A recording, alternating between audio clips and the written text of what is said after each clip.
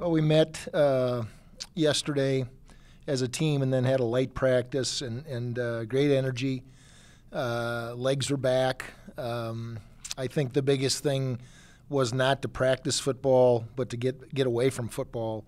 And so we had uh, two weeks where we only practiced three days, and uh, our guys appreciated that, and they really appreciated the community feeding us for, for Thanksgiving and then being able to get home. So uh, in my mind, the spirit, the energy, the, the the bounce in your step is as important as your bench press and 40 times. So I feel good about that. All right, we'll take questions starting with Grant Sweeter from KELO TV. Coach, looking ahead to, to Delaware, uh, I mean, one thing that stands out is their defense. You know, it's certainly one of the best in the country. Uh, what do you kind of see when you look at their defense? I see uh, uh, 11 guys that are very well coached. I see a D line that plays with unbelievable leverage uh, in terms of taking on blocks. Uh, I see a core of linebackers that are physical son of guns that'll hit you and get off blocks. And then their secondary, a lot of variety back there, uh, but they do it. They play it. They play it well, and and uh, they're they're uh, their safeties are really, really good tacklers. They ask them to do that a lot in their defense. So uh, it's a unique defense, but well coached, and and uh, again, play with great technique. Where do you think on your offense you'll be challenged the most? You know, or or you'll have to see you know the most step up, I suppose, to to combat that defense. Um you know they're really good. So I, I, I, I, don't know if there's a specific thing. I think maybe our patience, you know, uh, our ability to understand that you're not going to get 12, 15 yard plays, run or pass, uh, and that uh, uh I think that's that's probably the biggest thing. And not that we've been a big play team this year, we haven't. Uh, but but uh, you know when we played Northern Iowa, it was very similar type of defense and, and very aggressive, and, and we had to be patient and, and, take advantage of opportunities we had. So I think that's the biggest deal. you know, I know you. I know it was a couple seasons ago, but is there anything? You know, I don't know if you even think about it or worry about it, but you know, this is a team you played a couple years ago when they came to, to Brookings for the playoffs. Is there any similarities or differences, or do you not even look at? I don't look at it. Uh, I seldom look at even last year's game against a conference opponent. You know, uh, I mean, never do we sit down and dig out our folder and say what did we do last year. We we start uh, afresh, and so I I think the similarity is it's it's the same opponent we had in the playoffs. You know, different round of the playoffs, but same opponent, and and we get to be at home. That's similar. So uh, we're looking forward to playing. Thanks, coach. You bet. Next question will come from uh, Kevin Tresolini. Thanks, Jason. I appreciate it. Hey, Coach, uh, appreciate you taking some time to speak with us. Um, you know, was just wondering, you know, kind of a, little bit of, of a follow up on the previous question, but you guys did face Delaware two years ago, but it's a different coaching staff now. Defense still the same, offense is is different. Um, you guys did such a good job in that game two years ago of getting pressure on Nolan Henderson uh, sacking him seven times in that game. Uh, you know, will will that be a point of emphasis? And as good as he is, is that something that you feel like you kind of have to do to possibly have success on Saturday? Well, I, I think this team, and, and uh, again, I don't, I haven't watched the film, but I think this team uh, is he's he's surely better, right? Because of his age and his decision making and and the weapons he has to to deliver the ball around. And so I, I doubt very much if if uh, we're going to have seven sacks in the game. I don't think that's that's a unique situation, especially when you're playing playoff football. But we hope to get some pressure on him. I know this: our defensive coaches are very impressed with uh, him specifically and, and, what he does with the ball.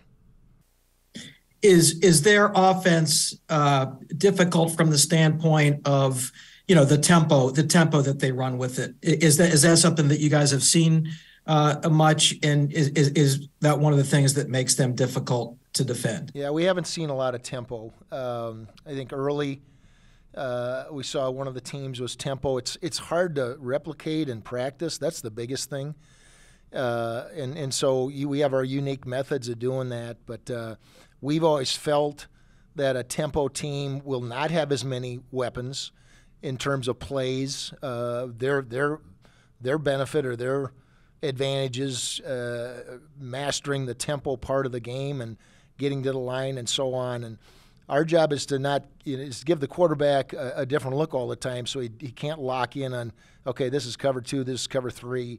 Uh, the, the, blitz is coming from this side, so that also becomes tougher in a te- with a tempo team. Thanks, coach. Appreciate your time. You bet. Next questions to uh, Alvaro Torres from Endzoners. Hi, Coach Steve. How was your week? It's been good. Been good. You get uh, a week off and and uh, a weekend uh, watch a little football. You, you can't beat it. I felt like a civilian for a while. Okay. Well, uh, Delaware has a great offense. Will it be the biggest challenge your defense has faced this season? And will time of possession matter more in this game in order to keep them off the field? Uh, one of the one of the things we always talk about as a staff is what does the other side of the ball need? You know, uh, in terms of uh, we run the ball more on offense, so our defense isn't on the field. Uh, I think their defense is good enough that we're not going to be able to dictate anything, and we're just going to be a team that tries to run our offense to the best of our ability, take advantage of what they might give us, and then the def- our defense has played pretty well. So ideally, our defense can can step up and uh, slow down their offense. Well, this season seems to be one of the most wide open as a national championship contenders are are concerned. How important is it for you that the players have to go through through Brookings? I think North Dakota State has has proven how, how beneficial it is to have home games, have the number one seed or the number two seed. We had it in the spring of 21, and we ended up getting to Frisco. So uh, I think it's important, uh, very important, and for a lot of reasons. Uh, you know, our, our fans, our field, our beds, our, our schedule. But bottom line is we have to win a football game before anything goes through Brookings. And so that's our goal. Want to know today today, want to know, and then see what happens building up to Saturday. Well, my last question is that only Caleb Sanders was announced as a candidate representing the program to one of the three FCS awards. Do you think that that speaks to how balanced your team is regarding individual performances? Well, yeah, Caleb is a, a really special player. We have a lot of special players. Uh, we we were very well represented on the the all conference squad. I think the press and the coaches were very honoring to our, our players. Uh, so I don't know if we're balanced, but uh, we, we, we do have a lot of good players, and we play a lot of guys on defense. And so for a guy to have gaudy stats uh, is not going to happen because Caleb Sanders only gets to play half the football game, many games, wh- wh- whatever the score is. And so uh, he finished second in the voting for Defensive Player of the Year for a nose guard to have that happen, I think is pretty special. Uh, he's a good football player. Thank you, Coach. You bet. All right, we'll move on to Zach Borg from Dakota News Now. Coach, how long do you think it's going to take your team to kick off whatever rust they might have after being off this long, or do you expect they can kind of go back to normal as though it was week to week? Um, again, I, I, we had a really good short practice yesterday.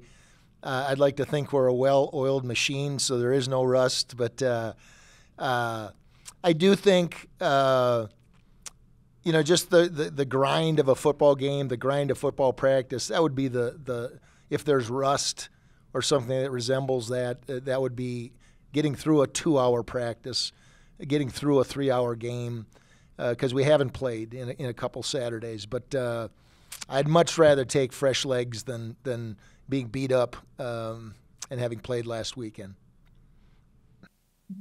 Uh, you looked at the first round of the playoffs, a lot of the scores were 30, 40, 50 plus points. There wasn't a whole lot of defense, especially with the way your team has played.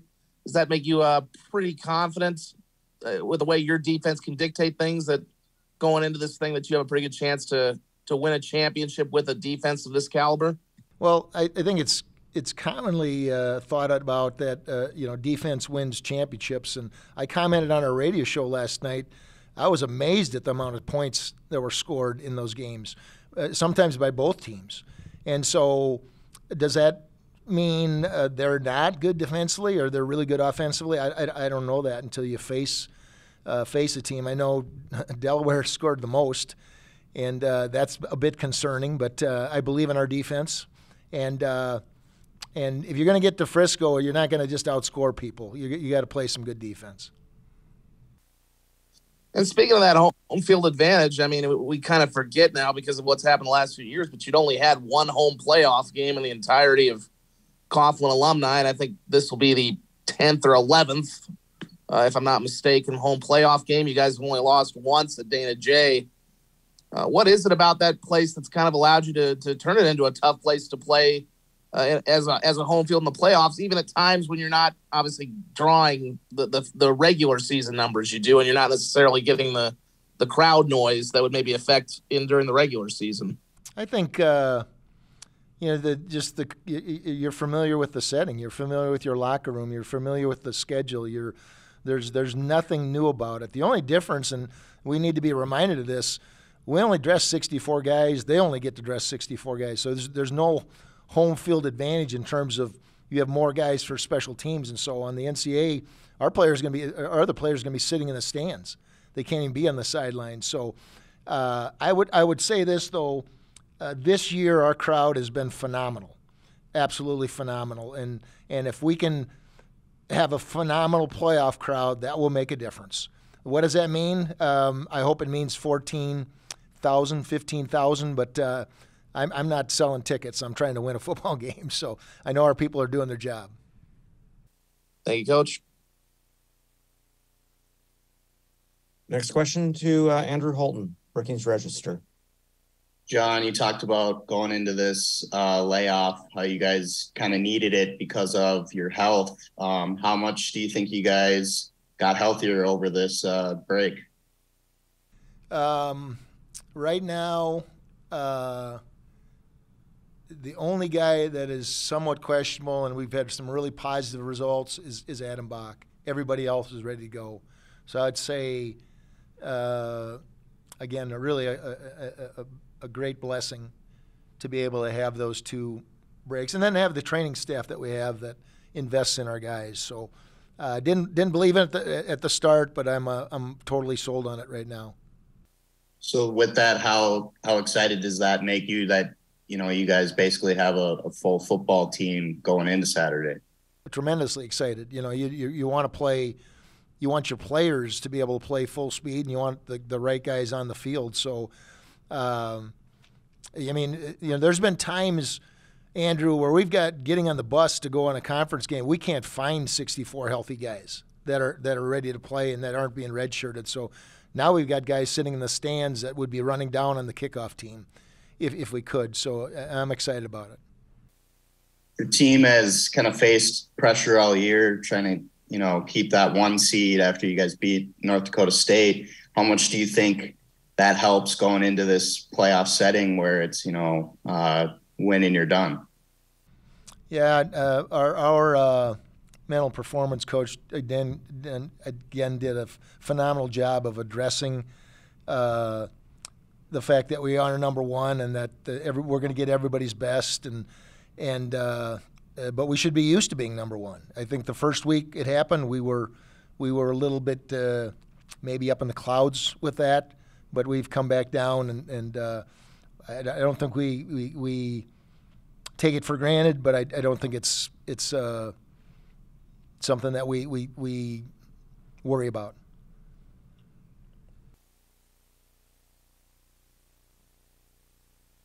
All right, we'll go to Chris Shad, also from the Brookings Register. Hey Stig, uh, just kind of a follow up on Andrew's question. You know, I was reading about Delaware and they're talking about flushing the end of the season because they had lost three out of four games. You guys are in a different position because you're you are the number one seed. You have the games at home. You know, you're expected to win these things.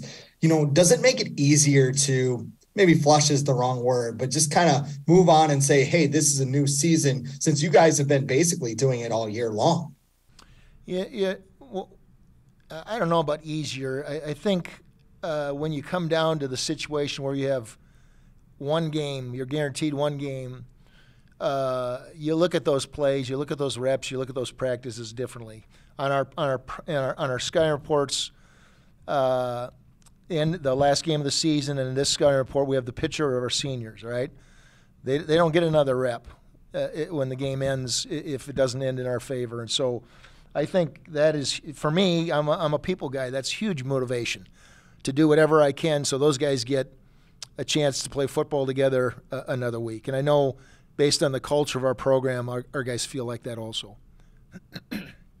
Looking at Delaware's offense, Chandler Harvin had three touchdowns against St. Francis. Thyrick Pitts has a catch in 42 straight games. You know, what makes them so successful as targets for Nolan Henderson? Um, they're very good, uh, number one. Uh, I won't use the team that the team in the Missouri Valley we think has the best skill.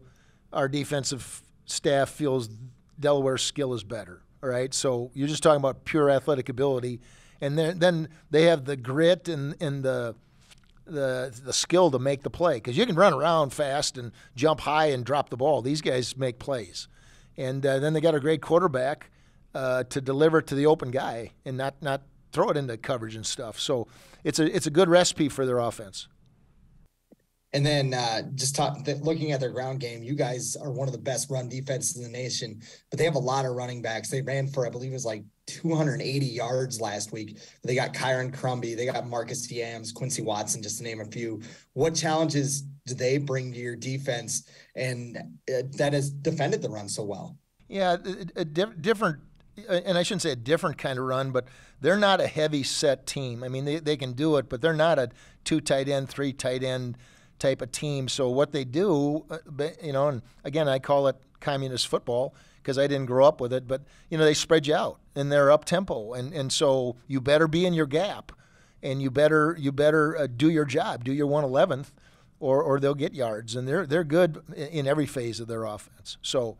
Uh, and again, the tempo thing, the tempo thing is is a, is surely an advantage for them because that's what they do. We don't do that. Hey, thanks, Coach. You bet. Move on to uh, Zach Lambert from Mitchell Daily Republic. Excuse me. Uh, hey, Coach. Um, I was wondering, you know, over the the time that you have you had off, how much, uh, how how'd you balance kind of practice and rest, and what that looked like? And then, if I remember correctly, you, were talking about a home run derby that you guys had. How how'd that wind up going for you?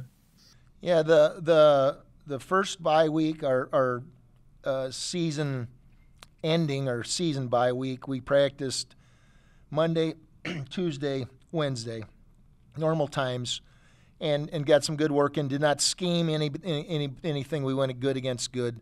On that Thursday, we were supposed to have a home run derby with our softball team, and and one of our teams had a COVID issue, so we we chose to not uh, you know share that that time. So we're going to do that in the spring. So I'll have to get back to you on that. And then this last week, we practiced Monday, Tuesday, Wednesday morning, and sent the guys home for Thanksgiving. And, and again, as a coach, uh, and I've answered these questions so many times, so I just sum it up. As a coach, you spend hours and hours to try to figure out what to call in this situation and I spent hours trying to figure out what's best. We made the call, and it was the best thing we could have done.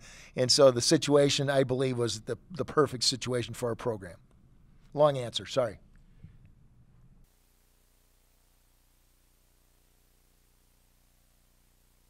Got another question from uh, Alvaro Torres. Coach, uh, this year you reach, you almost reached the the record attendance of Dana J. Dykhouse Stadium with 19,332 people in attendance. Do you think that you will break the record on these playoffs? Uh, I hope so. I hope so. I, I, think it'd be tough based on our weather, based on uh, the time of year in terms of holiday season, based on uh, deer hunting still in, uh, going on uh, based on pheasant hunting and all those things. Which, if I wasn't coaching, I'd be out shooting pheasants right now in this weather. So, uh, so there's a lot of factors. But I tell you this: we have an unbelievable fan base, and the ones that can be there. Uh, want to be there will be there, and our ticket people have done a great job promoting and, and, and price wise. So I'm excited.